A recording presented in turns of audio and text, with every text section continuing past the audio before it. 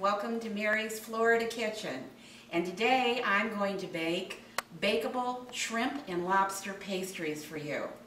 It is a recipe that I came up with when I was going to have some friends over for wine and I wanted something special and different and I wanted fresh seafood. So I came up with this recipe and I'll show you how to make it. What I did was I went and I bought frozen puff pastry from any if, in the freezer section of any grocery store you go to in America. And what I've learned is the the colder you keep this pastry, the easier it is to work with. So what you do, and previously, before I even got the puff pastry, I had been to a cooking store and bought a nest of biscuit cutters that came in five different sizes. You use the bottom biscuit cutter to cut the bases for the bottom of your appetizer. The next size is the one that tops it. And you just cut them out like this. Now we have our cut out pastries and what we're going to go do is now make the filling for the inside of the pastries for the shrimp and the lobster filling. Okay. Here's our filling. Uh, Philadelphia cream cheese, half a cup, two tablespoons of chopped minced fresh dill. Fresh is very, very important. And two cloves of garlic, finely minced. This is going to be mixed together and it's going to complement our lobster and our shrimp absolutely perfectly.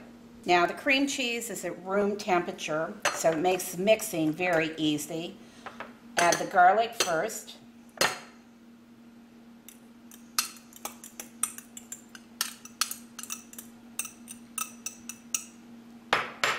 Add the dill. And whip it together with your fork. Try to mix it as well as you possibly can because you want the flavor to be throughout the cream cheese.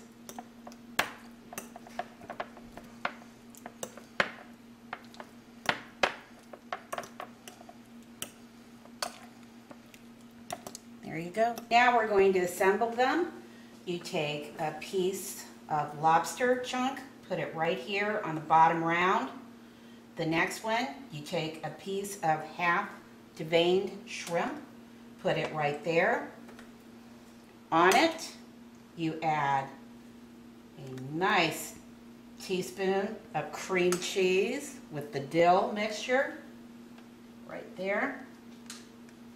Then I found working with pastry, it is so much easier to keep your fingers wet with water when you work with the dough. You put the top over the bottom.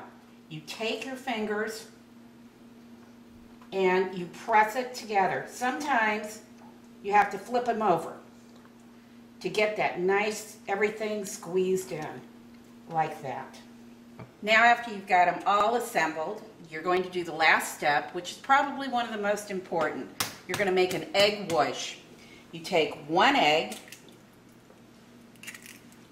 one teaspoon of water, just plain tap water, nothing fancy, and beat it together.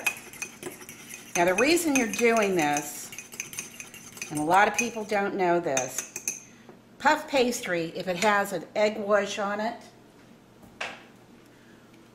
comes out of the oven with a perfectly browned crust and it's all puff it looks beautiful. So then you just dab on the egg wash on the pastry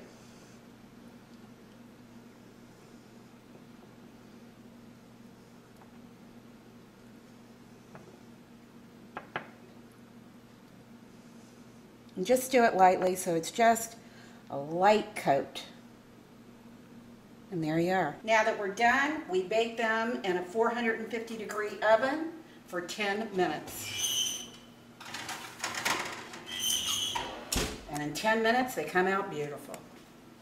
Hey, they're ready. Ah, pull these out. Mmm, I can smell the seafood. And what I do is I let these sit for an additional 10 minutes before I serve them to guests because otherwise you don't want them to have an atomic bomb in their mouth with the heat from the oven.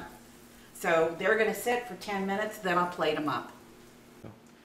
After they were finished, I garnished them with a little piece of fresh dill just to make them look even better.